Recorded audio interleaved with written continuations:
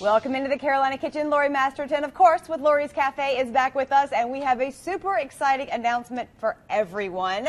This is huge. It is huge, and today this is officially the right day to announce this. So tell me about it. What do we have?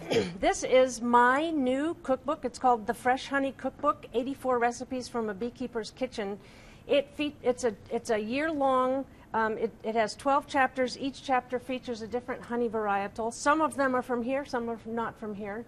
All the recipes in the book either use honey or a, a main ingredient that would not exist without honeybees. For instance, peaches. Okay, and this recipe, can we find this in the cookbook? No, you have to come to Carolina Kitchen for it. Ah, all right. This is an exclusive. This is a sneak peek of Yeah. things that you might find similar things in the cookbook. Awesome.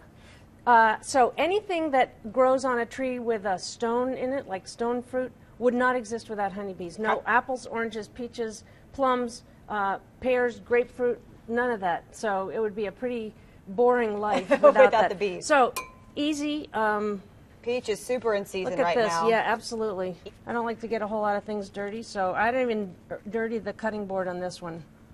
Um, these peaches are perfect. So you sliced it one way and then flipped it the other way. Yep, just like an Look at that. around the equator and then on the longitudinal lines of the globe. Okay. And so, part one. Part two, we'll, we'll add just a little bit of fresh cilantro. Open this for me because your hands are not so greasy. Slick? Yeah. And then you're going to use lime. Cilantro, I love. Yep. And lime, a little bit of lime zest. So have one of these fancy little grater things. If you don't have a grater, you can just do it with a knife. 'Kay. But smell I know, it smells so I mean, good. That that just says salsa to me. And then do this, and then it'll make it juicier.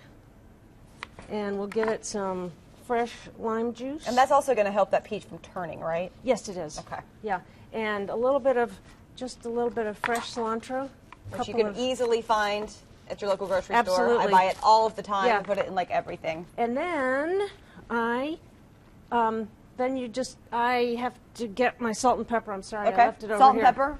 I will While she's right- grabbing that, let's get you guys the recipe at home. Go to our website, WLOS.com. Click on the Carolina Kitchen link. That, of course, is the fastest way. Or you can send a self-addressed stamped envelope to 110 Technology Drive, Asheville 28803. She is back with the salt and pepper. And I'm going to put a little tiny bit of my honey in there too. You can open that up because I won't be able to.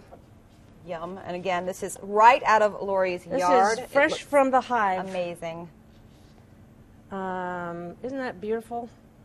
Come on now. I have usually I have a necklace on, but I don't have it today.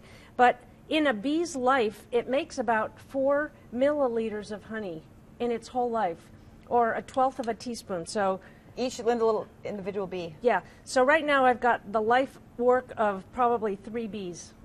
All right, that looks amazing. Very simple. Yep.